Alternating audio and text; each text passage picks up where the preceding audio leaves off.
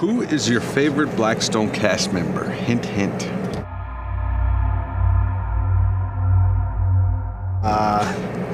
You. yeah. Here. Okay. Now, pay me. Okay. What was your favorite moment from season one?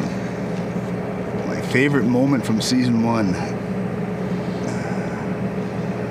I think uh, lying to Eric. Yeah. What is your favorite part about being an actor?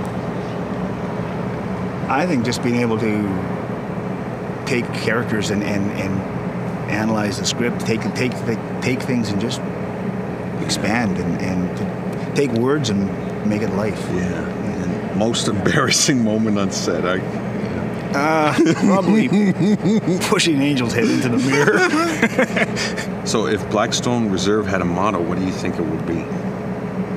Holy Next. Boxers or briefs? None. I'm not asking these questions.